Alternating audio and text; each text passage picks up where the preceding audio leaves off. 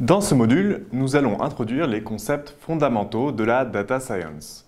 En premier lieu, nous allons parler d'une définition des données.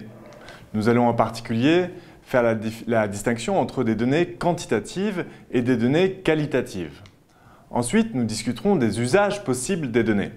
Est-ce qu'on se situe dans une logique simplement de description, dans une logique de prédiction, par exemple pour prédire à partir de données météorologiques le temps qu'il fera demain, ou d'autres formes euh, d'usage des données?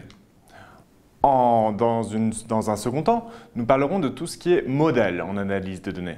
Et nous prendrons un exemple, celui de la régression linéaire, qui est un des modèles les plus simples pour s'initier à la façon d'aborder mathématiquement un jeu de données nous montrerons un petit peu l'anatomie d'équations comme celle qui est présentée sur cette diapo.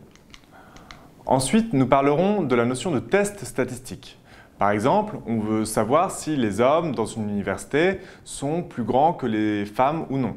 Et on va mettre en place, on va décrire l'exemple d'un test de student qui nous permet de, de décider ça de manière non arbitraire.